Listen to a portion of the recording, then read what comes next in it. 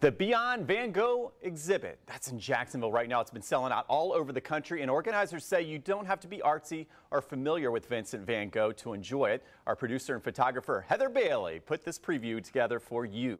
This experience is about bringing you in. It's about blending cutting edge projection technology and Vincent's work and allowing you to be inside the paintings, to walk through them, to really be a part of his work in a whole new different way projection is really flowing all over you. It's really all on the walls, it's also on the floor. So you really have a sense that you're literally stepping into his work, setting foot into his world. And that's really, truly unique. There's nothing like the magic of an original Van Gogh. If you get the chance to see one in a museum, it's literally leaping towards you because it's just so bright and vibrant. But there's something so magical about being able to just step into it, about going beyond the frame and then finding yourself amongst these vibrant colors, finding yourself among these dynamic brushstroke, part of the movement. And that's really what this show is all about. This whole project is based on projection. What that means is that every inch of the space is covered with projection that's not overlapping, it's not creating shadow. You won't feel like you're blocking the light in any way. So it really makes you feel like you're in it, you're part of it. And really this is what projection-based project allow us. It's really to be able to blend that with those pictures that people might be familiar with, but through that they get to actually walk amongst them. So music plays such an important role in this experience because it's really a bridge between this 19th century artist and this 21st century audience.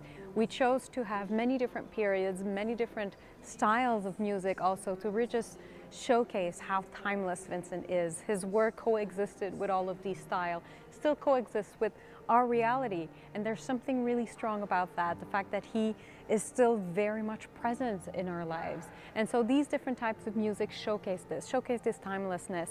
And it was also something that helps you connect help you be engaged in this journey that takes you from the beginning of his career when he's learning how to paint. Everything is much darker. And then you get to Paris and it's this discovery of brightness and the music showcases that. And then you get to the south of France and it's just this pure explosion of color. And it's really about finding this blend that allows the audience to really go into something that's quite dreamlike. This whole experience is a showcases about 300 paintings from Vincent. When you know that he painted over 850 and when you add all the watercolors, the sketches, the drawing, you get to almost 2,000 pieces. And so it's really about curating this journey from the beginning and to his work so that you're really part of his world. He painted only in the last 10 years of his life. And on that short amount of time, his work evolved so much and became this unique style that even if you're not familiar with art history, chances are you'll be able to identify a Van Gogh. And so it's taking you through this uniqueness of a style. The idea is to provide multiple options for people. So it's great to walk around. It's great for kids. They get to really literally run in this space, twirl. You can just wander around at your own rhythm. You have seating options, also to take it in and be more comfortable for some people. It's really about adapting to each zone intention, expectation, pleasure, intent, emotional response to what's happening in this space. And, but it's really encouraged to just walk around because you feel the movement all the more and you just feel like you're part of it. And seeing kids running around is truly my favorite part. It's really magical to see them interact with art that way and there's nothing like it. You don't need to know anything about Van Gogh to enjoy this show. If you know him beforehand, if you're familiar with his work, then great. It's really like me, it was a fantasy of going into the work you already know and love. If you know nothing about him or just know the ear cutting incident, Starry Night, it's a chance to discover that there is so much more to him than that. And that there is something still so relevant about an artist that's known for struggling in his life, known for the darkness in his life, and was able to transcend all of that into works of beauty, works of incandescent brightness. And that's something that we can all learn for.